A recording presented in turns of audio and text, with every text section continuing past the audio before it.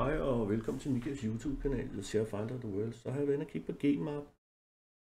Det er jo det forskning. De forsker jo i, i forskellige områder, blandt andet kraft. Øh, og, øh, og her er vi et banebrydende teknologier, der har til formål at transferere øh, behandling af kraft og andre alvorlige sygdomme. Og øh, det ser jeg jo som noget øh, godt. Noget godt for os alle sammen. Vi har jo alle sammen højst sandsynligt en familie, der er død af kræft. Øh, og øh, hvis vi kunne hjælpe dem i dag, så ville det være dejligt. Ikke? Ja. Også alle de nye, der får, får den grimme besked, af de her kræft. Ikke? Ja. Så ville det være godt, hvis der var noget, vi kunne hjælpe imellem, og, og hjælpe dem ud af det med det. Ja. Og øh, Genvarp det er et gammelt selskab. Øh, vi samarbejder med blandt andet Johnson Johnson. Øh, og jeg synes, at øh, I selv skal gå ind og kigge, for der står rigtig meget. Øh, jeg er jo sådan, jeg kigger jo lidt efter nogle andre ting også, øh, som jeg synes kunne være spændende. Øh, der er sådan en rapport her fra den 6. november, øh, hvor de skriver, at øh, at de har haft en stigning på 29 procent, øh, og øh, det ser jo som et meget godt tegn på, at det kunne godt være en meget god forretning for mig måske. Øh, jeg har ikke råd til at købe så mange, men jeg, jeg kan købe nogen, øh, og nogen, det kan være 3-4 stykker eller sådan noget, max. Øh, lige, lige nu, jeg har råd til. Men det er jo sådan noget, man kan gå og... Men til andre, som måske er lidt flere penge at investere for, I kan jo selv gå ind og kigge på det også. Øhm, Genmap, ja.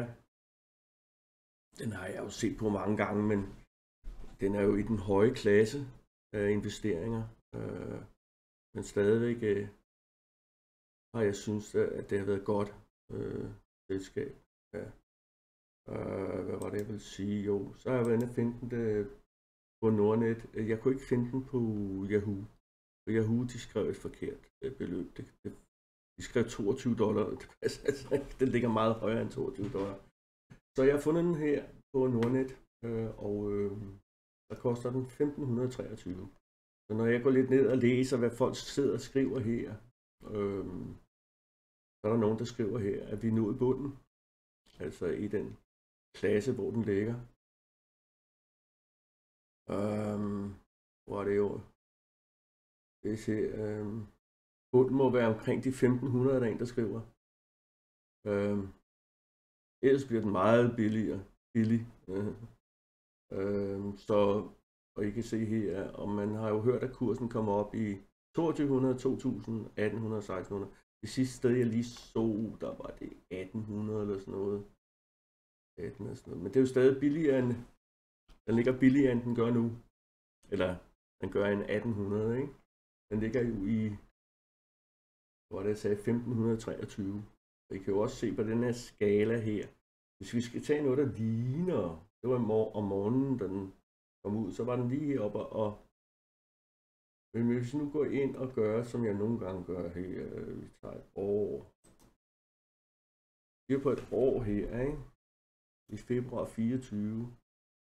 Der var den altså oppe i 1900, ikke? Hvor har den været oppe i her? 2200 genmap, ikke? Det var den, øh, den 24. februar. Ja. Øhm, og hvis man går ind og siger her tre år, så kan I jo så se, hvis man skal tage noget, der er lavt, så er den næsten oppe i, i 2000, ikke? Men 1900 er den oppe i. Det er sådan rundt regnet Hvis vi tager for 23, så er den oppe i 2600, ikke? Og nu er vi altså nede i 1500. Ja. Jeg tror ikke, øh, de har haft det selvfølgelig et kæmpe, kæmpe fald, og hvorfor det har været der, det ved jeg sådan set ikke. Øh, og det, vil jeg også, det, det er også derfor, jeg altid siger til at I skal gå ind og læse om det. Men jeg tror stadigvæk, at, at det godt kunne blive et godt bud, ja, øh, for den er lav. Jeg har set den dernede før, hvor den er ligget der. Øhm, Men gå selv ind og, studere den. Det er bare lige, jeg vil bare lige vise jer den, øh, og I skal huske altid at læse. Det er så vigtigt at læse. Jeg vil ikke have, at I tager nogle penge. I skal vinde nogle penge. I skal kun tjene lidt penge på det. Det er det, der er meningen. Og så er det meget vigtigt, at I selv går ind og læser og studerer det. Øhm, om det kunne være noget godt for jer. Og hvis I ikke vinder noget som helst om bankaktier eller om aktier, så skal I snakke med jeres bankmand om det. Det han kan forklare jer, om det kunne være ret godt køb for jer. Ja. Um, og for the English people, I don't want to tell you about my in my schooling English here. Uh, you must self go in and read uh, and find out. This is a genmap, uh, this forskning in, in cancer and another sickness. Yes, and uh, you must self go in and look. But I say this also to the Danish people. I think this is a low right now, yeah, and uh, this is a good uh, company, yes, as I have been here in many, many, many years, yes, and uh, I've been up more in this, yes, and you can see here, uh, this uh, from 2022, it takes five years, you can see. Let's go back to back to 20, hvis vi skal finde noget, der som er lower ja, end det vi er in now. Ja. Uh, so I will think it will be good buy, yes, for me i. I don't know about you, but I will have you read, always read. This is very important you do that. There can be something I don't have read, yes, uh, some can have uh, input for, for the stocks, yes. But um, I think it will be good. Uh, um, and we can see here, lige sætte den over in English, vis original, ja.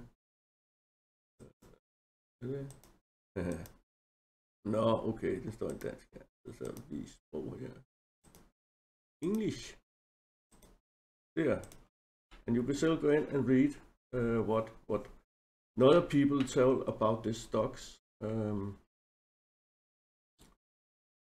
uh, står, you could go in on this uh, nordnet.dk and you can set no in English and you will really understand this. Yes, right. This I doing right now. Yeah. But you can see there's uh, a people some say that we have we have the bond uh, we have down now in 1500 yes and they could be a good buy. Eh? Yeah. And some people have said, uh, some banks have set this uh, stock to 2,200. Some others bank have set them to 3,000. Yes. And um, you can still go in and see for yourself. But I think this will be a, a good buy. Yeah. Uh, very good stocks. Yes. Very good company. Yeah. And go self in and look, and you can go in here and look in this. Um, let's see, vi skal lige have den kørt over her. Original der. And you can look here. Blandt andet blood cancer, ikke? Yeah. This is also a very bad uh, sickness, yes. Um, and uh, can see we have um, you have uh, in Japanese and United States also. Eh? Um, men you kan selv gå ind and, and look in, in genmap.com uh, og se det site her og se om det could be something for you. Yeah. I think I, I think some long time uh, når vi in, invest in these stocks, these the big stocks, yes. It cost a little money? Yes for me it's many money yeah but i have look on them um, I, I think it will be good buy for me to have in my portfolio to a long time yeah i think now I go in pension and uh, I don't know what is the in English. My schooling is not so good. um, but yourself in and look. Yes. Uh, Okay. Um, but remember, always read. It's very important you read. And uh, if you don't know about stocks, talk to your bank man. He can help you. Okay? Yeah, okay. Um, what do I say? You know, I would say at um, and here we can also go in here and we can set this there and you can see here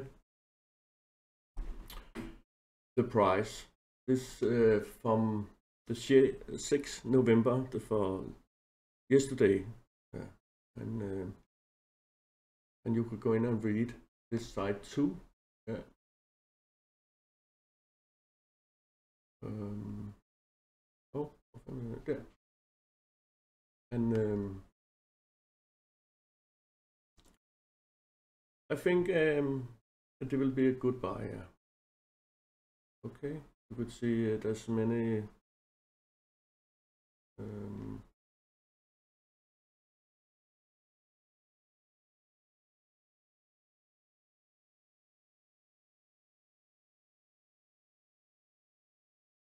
and have going uh, 29% up. Eh? Uh, this is very good.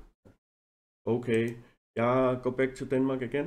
Øh, til jer andre, I må selv gå ind og sidde og læse lidt om den. Øh, jeg, jeg, jeg støtter bare på den, øh, og jeg, har, jeg, kigger, jeg kigger på alle aktier. Øh, men jeg synes, den er lav øh, lige pt, øh, og jeg tror godt, man kunne tjene nogle håndører på den her. Det tror jeg godt. Øh, og øh, det er jo et godt, godt gammelt selskab, øh, og de, de, de, de kommer helt sikkert med et eller andet på et eller andet tidspunkt, ikke? så skulle der meget godt at være med. Ikke? Ja. Det er ligesom med Tesla-aktien. Den steg øh, næsten 40 dollar i går, ikke? efter Donald Trump han blev øh, præsident. Ikke? Så røg den lige 40 dollar op. Ja. Der var jeg ikke med på det futtog der, så nej. Så fortæl selv ind og kigge, ikke? Det, det er bare det, jeg vil sige, men øh, jeg har kigget på den her, og jeg synes, den øh, ser meget fornuftig ud. Øh, jeg, jeg kan godt lide, at når vi er hernede, at vi ikke er heroppe, fordi så vil jeg ikke gå ind og købe den, men, men når vi er hernede, det er jo halv pris, ikke? Det er halv pris. Vi, er, vi snakker om, ikke? Halv pris næsten, ikke? Ja. Så gå selv ind og kig og find ud af med jer selv, hvad, hvad I synes. Ikke? Så jeg vil smutte igen. Det var bare en, en lille video om genmap, som jeg lige støtte på. Øhm, jeg støtte ikke på den. Jeg har vidst den. Jeg kendte den længe, men jeg har bare ikke råd til at købe den. Mange penge. Rigtig mange penge. Øh, øh hvis man skal tænke sådan lidt er lidt investors er til sure tider, øh, som man kalder det, så øh, er det jo meget godt. Og I kan se, hvor meget den er været minus. Øh, er næsten tabt 50 procent, ikke? For tre år. Ja, så... Ja, men jeg tror helt bestemt, den kommer op igen. Det tror jeg helt bestemt. Den er jo sådan i samme kaliber som nogle af de store, vi har, ikke? Ja. Okay. Ja, jeg smutter igen. I må have en rigtig god dag. Og det samme for the English people. Have a good day to you too. Hey.